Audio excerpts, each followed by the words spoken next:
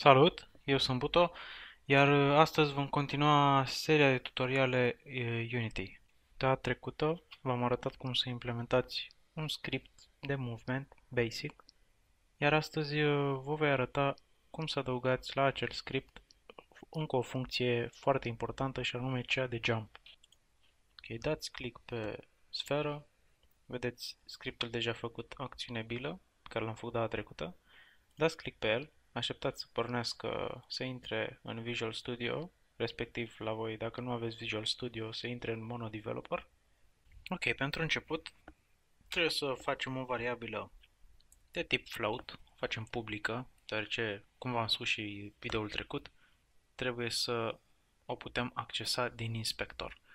Deci o facem publică, float și spunem înălțime și punem valoarea default 8. Ok. De asemenea, vom avea nevoie și de o variabilă în care să stocăm informația despre obiect, dacă acesta se află în aer sau nu. Ok, private. Acum o facem private, deoarece nu vrem să o vedem în inspector. Este chiar opusul, să spunem așa, lui public și vom spune bool. Aici, în variabilele de tip bool, stocăm informație de două tipuri, adevărat sau fals. Ok, și o să-i spunem este, nu, cade. Și punem uh, punct și virgulă. De fapt, o să o facem by default false, că obiectul în starea inițială nu se află în uh, cădere. Ok, după ce ne-am uh, creat acele variabile de care vom avea nevoie, putem să trecem direct la crearea funcției jump. Pentru început avem nevoie de un if, iar în acest if vom verifica dacă tastatura dacă la tastatură a fost apăsat un anume buton. Noi o să-l folosim W, evident că na, în jocuri când apeși pe W, sari sau mergi înainte, whatever. Noi o să folosim W pentru săritură. Iar pentru a face chestia asta, ne vom folosi de input. Acesta verifică tastatura și vom folosi din input funcția getKeyDown, adică buton apăsat jos, deci buton apăsat. Ok și vom pune key code W, deoarece am spus, și la, am spus înainte că vom folosi W. Ok. Iar acum, nu cred că v-am explicat uh, ce, fa o, ce face semnul acesta imediat. Acesta. Acesta este end.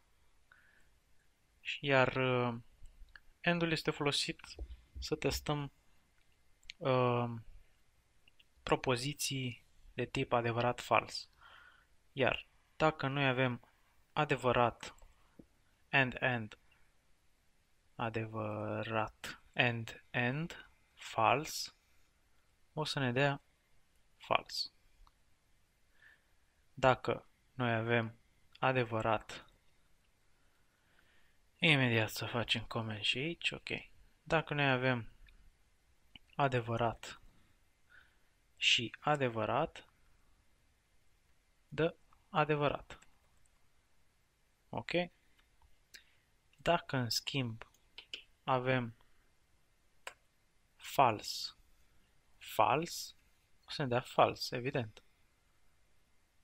Ok. Să revenim.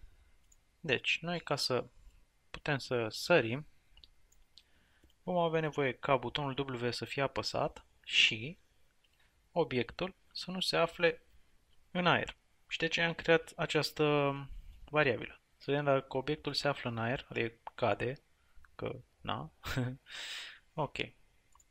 Și vom testa dacă această variabilă este egală cu false, adică nu se află în cădere. În acest if vom adăuga acea forță de săritură ca să mișcăm bila. Când apăsăm pe butonul W, implicit uh, această bilă nu se află în cădere. Ok. Păi, ne vom folosi de variabila rb folosită anterior și vom spune rb add force vom paranteze uh, rotunde iar în interior vom scrie new vector tridimensional cu uh, parametrii rb.velocity punct. X, că pe x nu o să modificăm viteza, iar în loc de rb velocity. Punct y vom pune înălțime, variabila setată la început. Ok. Iar ultimul parametru rb.velocity.z. Cam atât. Ok. Deci, această funcție verifică dacă primește input pe tasta W, iar obiectul nu se află în cădere. Va crea o forță care va împinge acea bilă în sus. Uh, încă un lucru. O să avem nevoie, imediat după ce este apelată această funcție, cade să devină adevărat, deoarece ne aflăm în cădere. Având în vedere că suntem în aer, imediat o să cadă acea bilă. Ok. Iar încă un lucru, va trebui să aveți grijă cum scrieți numele acestei funcții, deoarece noi o vom modifica, ea este o funcție uh, din interiorul Unity, noi doar o vom modifica. Void on collision stay. Aceasta verifică uh, când un obiect se rămâne în coliziune directă cu alt obiect. La noi sfera sau bila este în coliziune continuă cu podeaua. Ok. Când va fi apelată această funcție, vom vrea ca variabila cade să devină false, deoarece dacă am ajuns pe podea, nu mai putem uh, să cădem în altă parte. ok. Cam atâta. Salvăm și mergem în Unity să verificăm. Ok. Unity a apărut în inspector tabul înălțime. Văd că este default pus pe 250, să-l punem pe 300.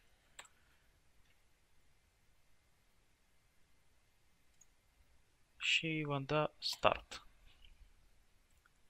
Ok, testăm mișcarea, văd că merge dreapta, stânga, ok, iar acum apăsăm W. Sare. ok. Perfect. Încă un lucru uh, care trebuie să vi-l arăt uh, încă din uh, primul tutorial. Acesta, uh, cum să salvați uh, o scenă. Acum ne aflăm într-o scenă, scena numită scena 1.